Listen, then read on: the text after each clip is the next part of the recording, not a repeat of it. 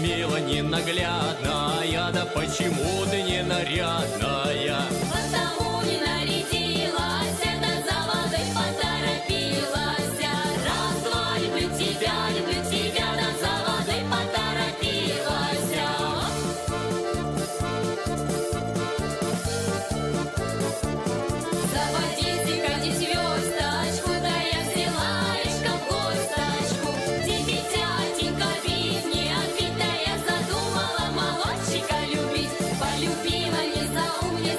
не